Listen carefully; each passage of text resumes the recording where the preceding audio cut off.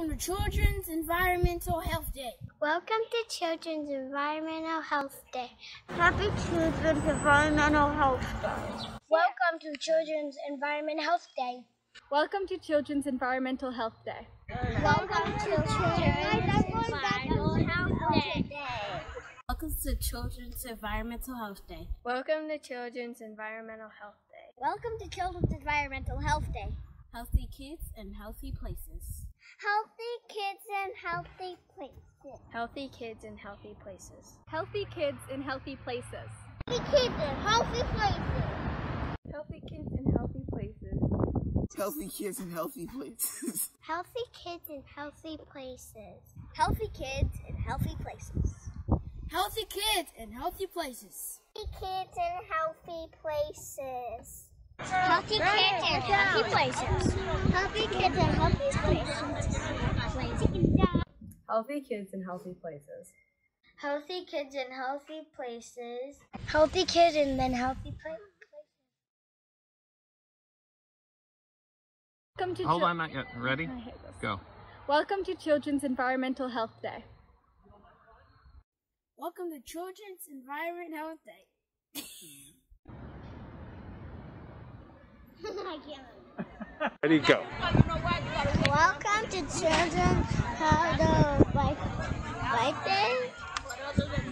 I'm to say, Welcome to Children's Environmental Health Day. No. Uh, what do I say again? You can say, Welcome to Children's Environmental Health Day. Welcome to Children's Environment Health Day. Welcome to Children's, Children's Environmental Health Day.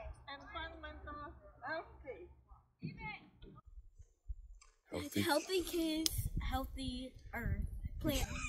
Places. Healthy places. Healthy kids and happy places. I don't know. Healthy. Healthy kids and happy places. Healthy kids in healthy places. Healthy kids and healthy places. Good morning. Um, it's my pleasure to welcome you to the Legislative Advocacy session of the celebratory day in children's environmental health. Um, so my name is Amy Brown.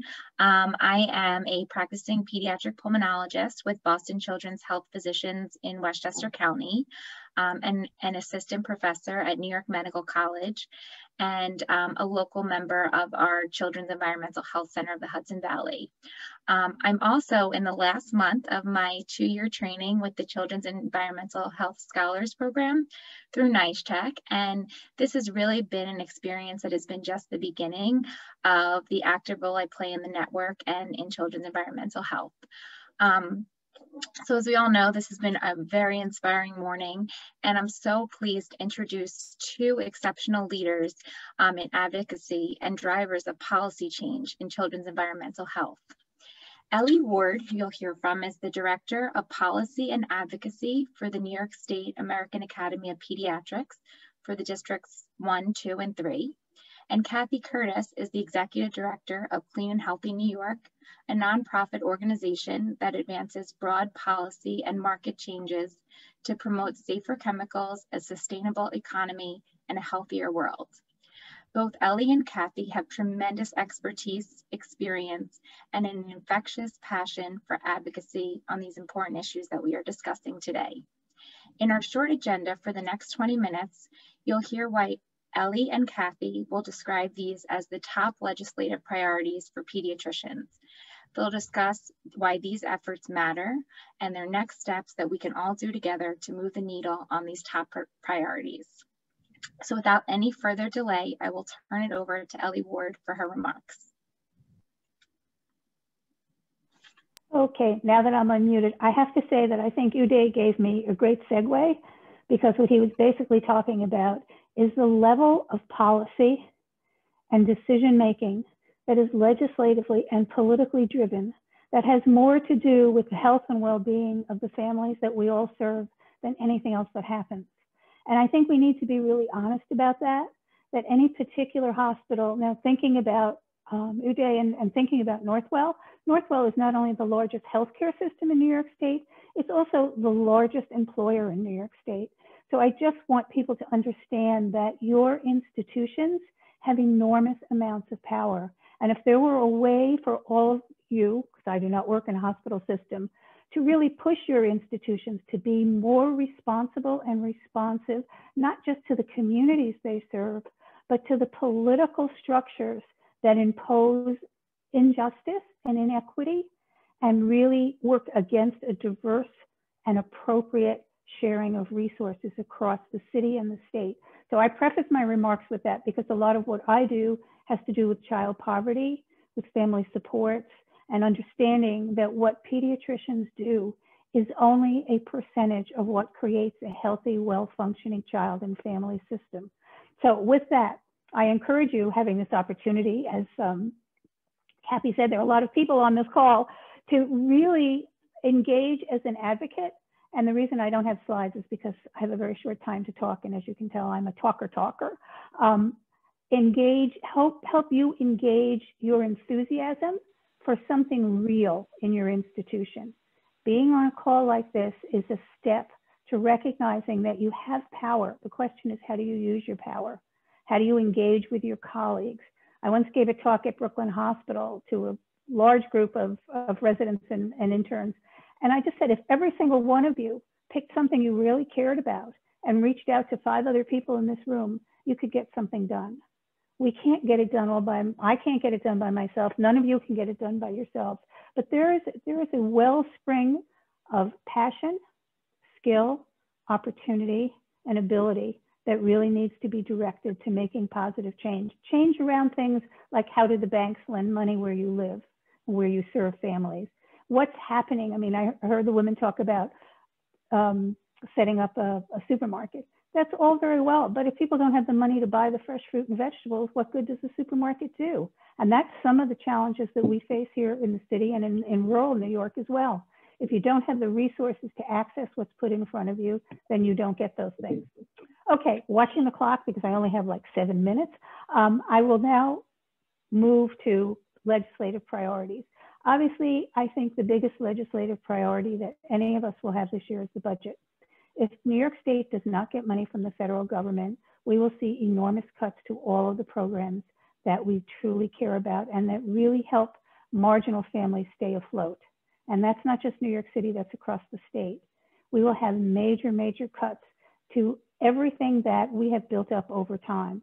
So one of the things that I'm putting on the table for everyone, not just in this, you know, Zoom meeting, but also the entire membership of the Academy across the state, is that we have to be ready to fight like hell to keep our children's programs, keep family support programs, keep child protective programs, keep preventive programs, keep housing programs, uh, keep nutrition.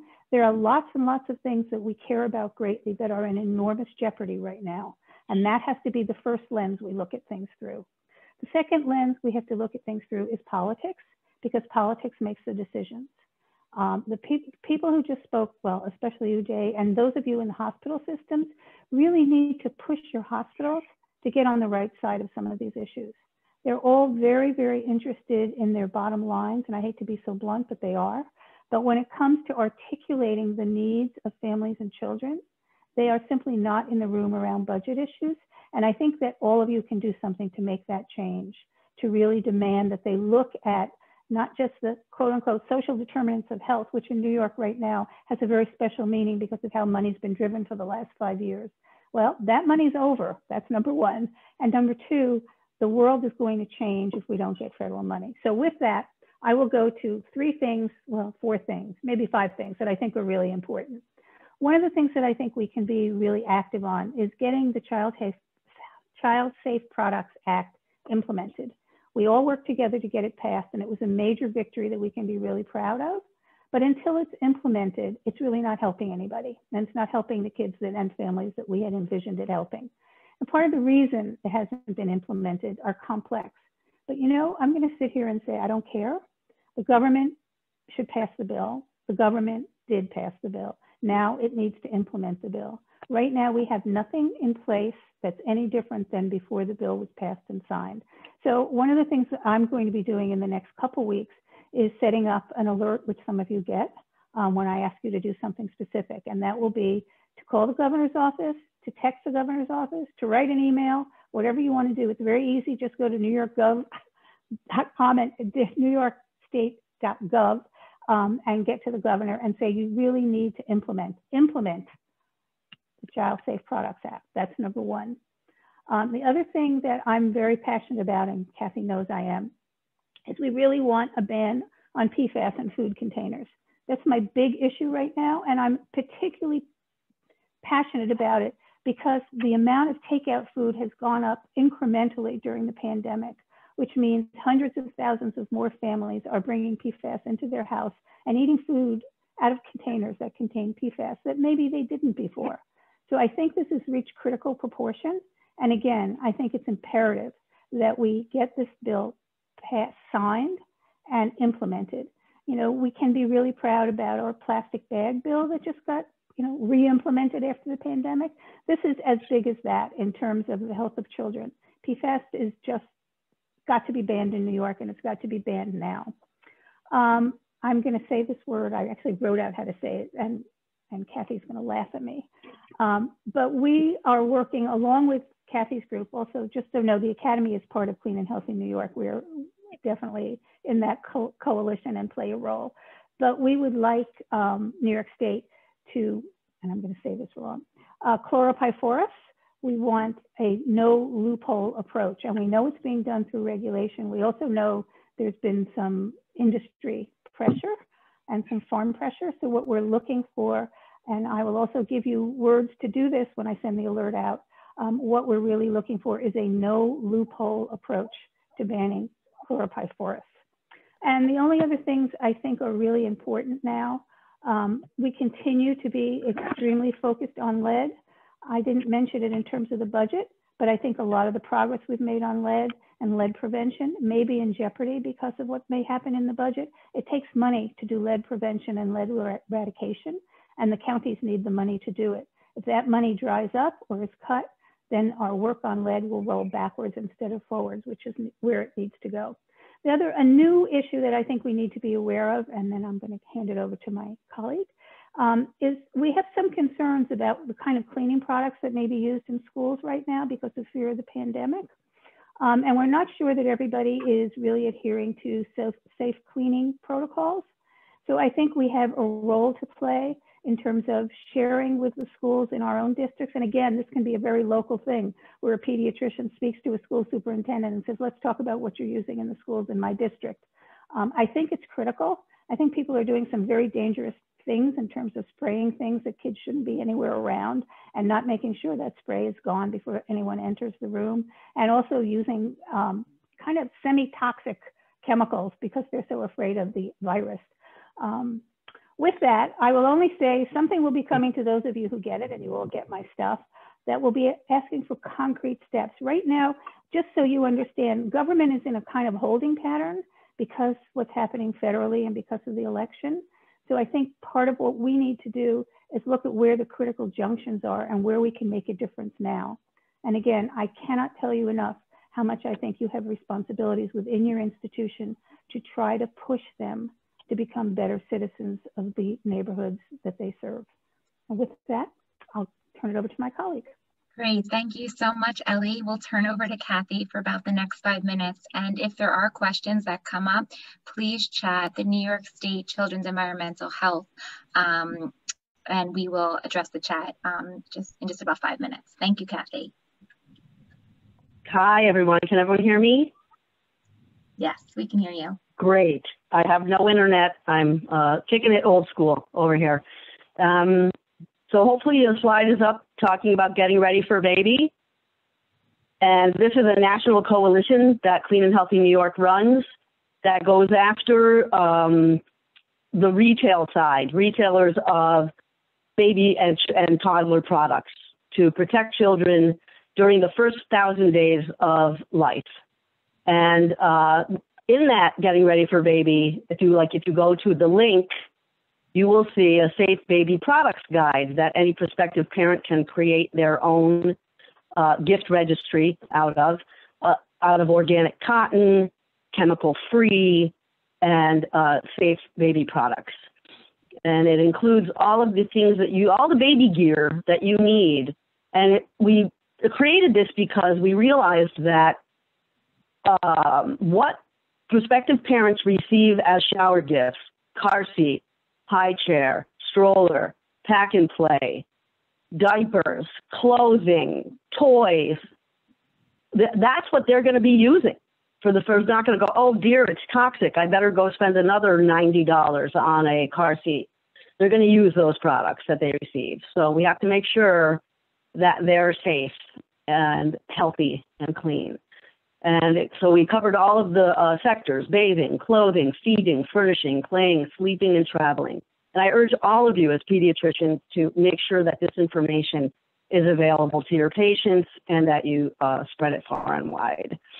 Uh, and we would love to hear from you about how you think that we can improve the guide to make it more used and more user friendly because a tool is only as good as it's used. So can we move to the next slide and then we'll get to the legislative stuff. Just wanted to, I felt I'd be remiss though if I didn't point that one out to you. Okay, so um,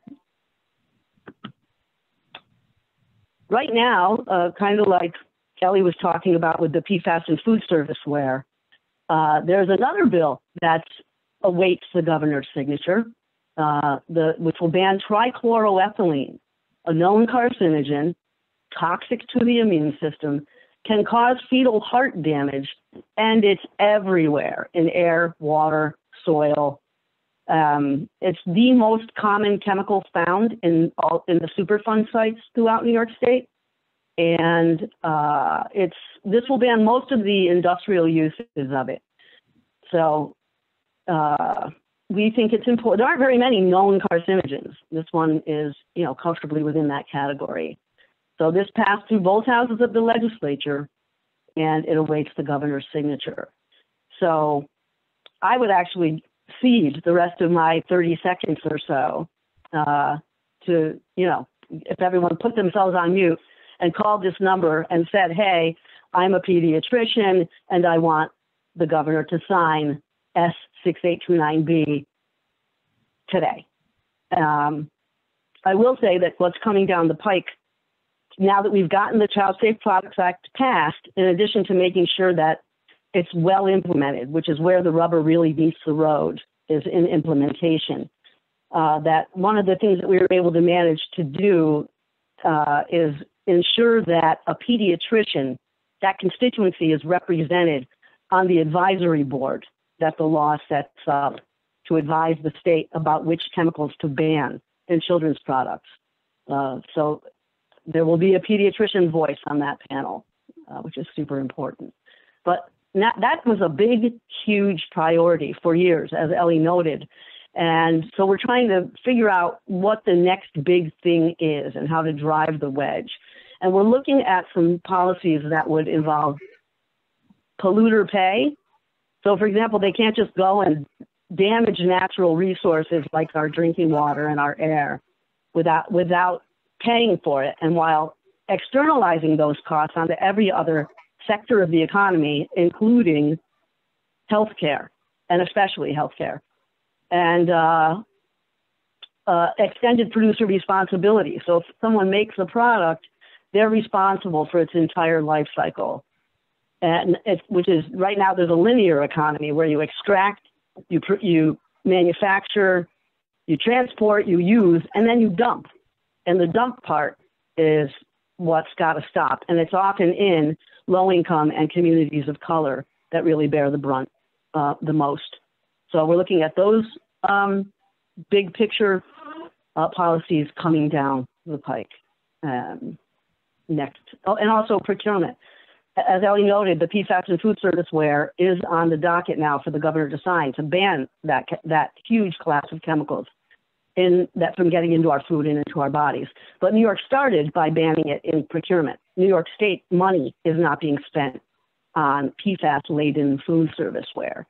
So um, that's a positive sort of green chemistry way to make safe and healthy products uh, safer, uh, are more affordable and available to all of the rest of us if New York wields its huge multi billion dollar budget to stop buying toxic products that's the perfect comment to um, to transition to the Q and A on. Um, this has been such an inspirational uh, 15 or so minutes with both of you, and I think you really set forth a important advocacy agenda. Um, so with that, I'll turn it over to um, Cappy. I don't know if you want to mention if there's any questions that have come up um, for either of our panelists um, or to conclude the session.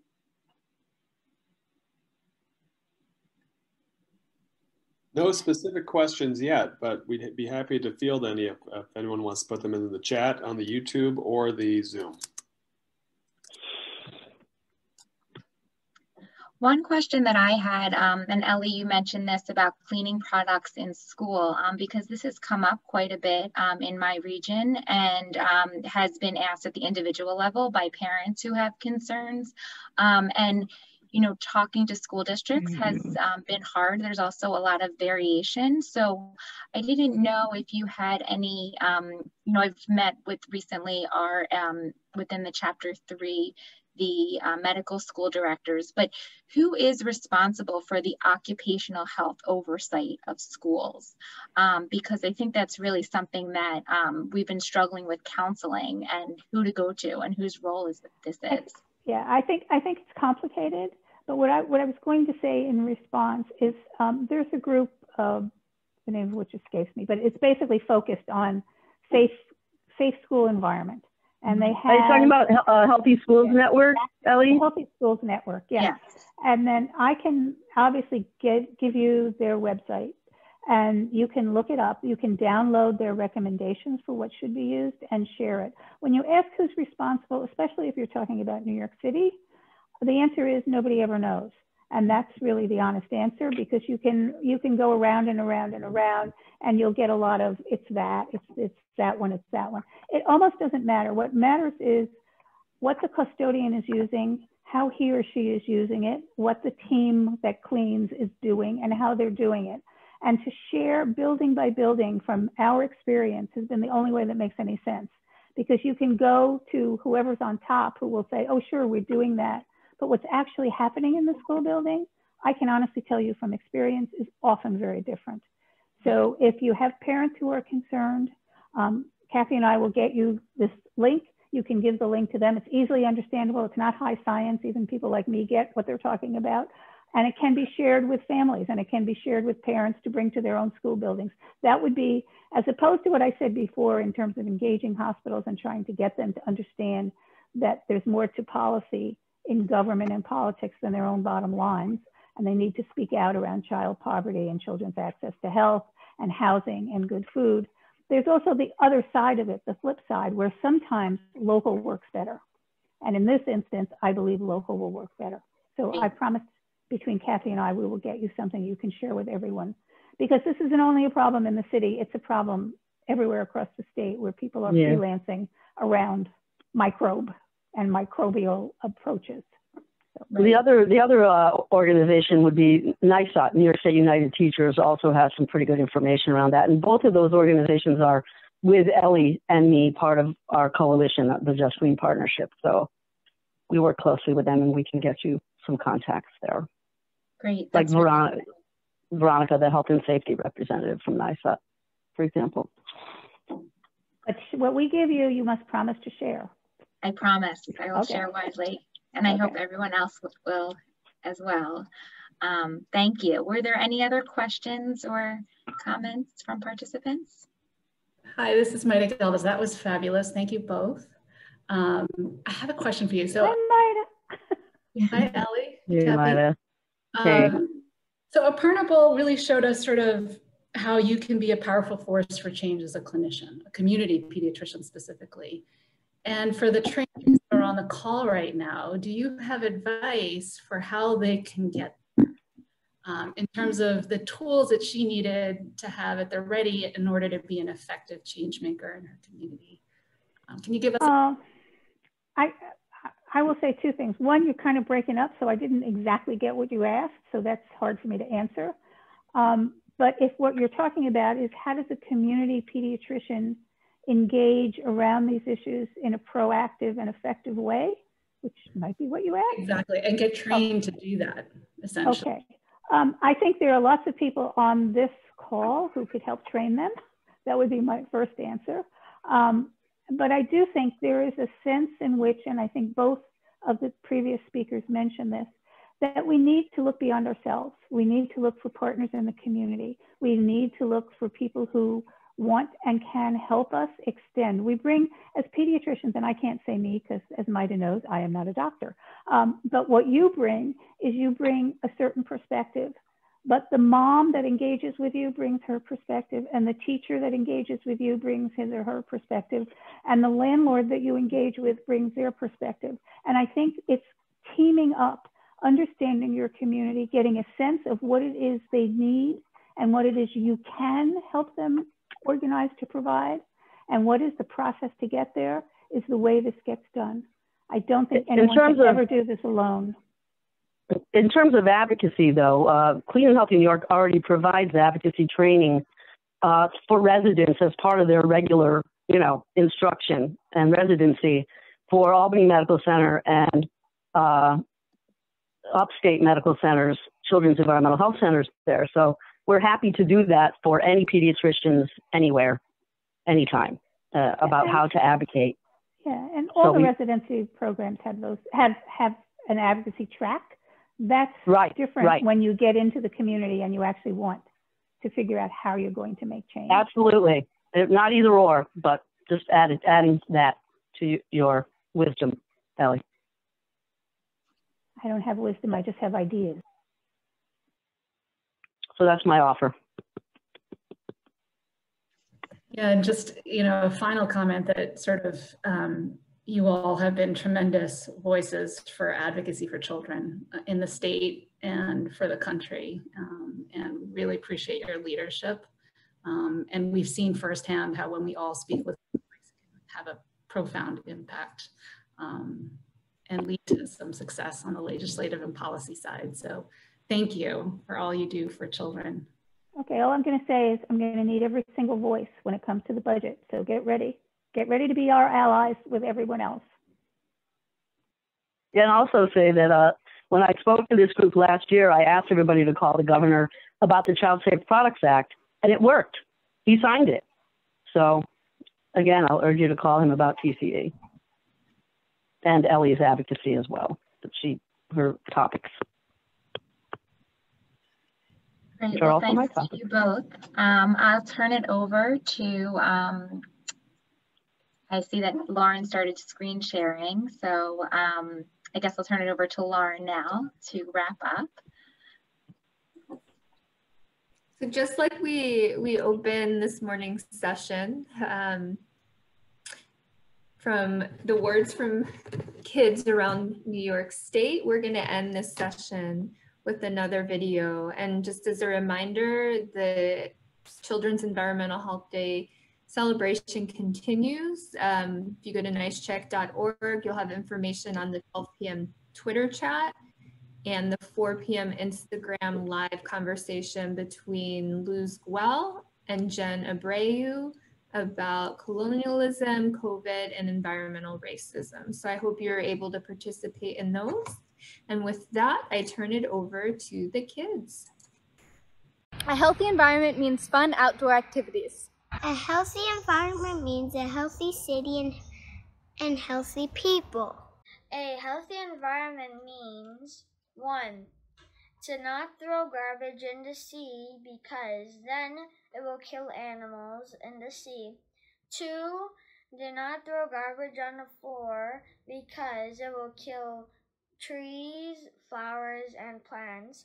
And three, let's clean up, we need to clean up the garbage so we can have a healthy and clean environment. Happy fun means playing.